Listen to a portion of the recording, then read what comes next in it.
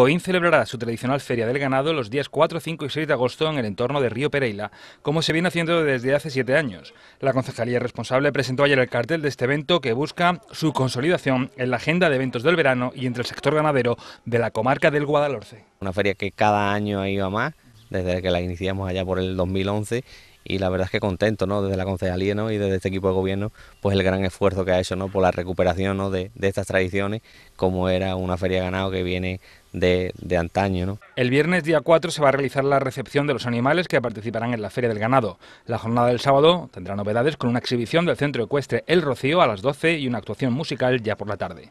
El domingo tendrá lugar la tradicional entrega de premios de los mejores ejemplares. Yo creo que es algo muy positivo, ¿no? que todos los ganaderos de alguna manera pueden estar aquí, ¿no? intercambiando opiniones, haciendo comentarios de cómo les ha ido el año, ¿no? porque no es fácil, ¿no? No es fácil mantener en una ganadería, no es fácil estar todos los días en el campo, a pie de los animales, con el trabajo que tienen, los animales no entienden de fiestas, de fines de semana, ellos necesitan del cuidado de todos los días y es algo muy importante, ¿no? Y aquí pues nosotros pues nuestro máximo agradecimiento ¿no? por el esfuerzo que hacen ¿no? y nuestro máximo apoyo porque en definitiva de, lo que se trata, ¿no? de, de, que la administración apoye todo este tipo de, de uh, iniciativas. Y la próxima semana se van a comenzar los trabajos de acondicionamiento del terreno y de instalación de vallas en el recinto.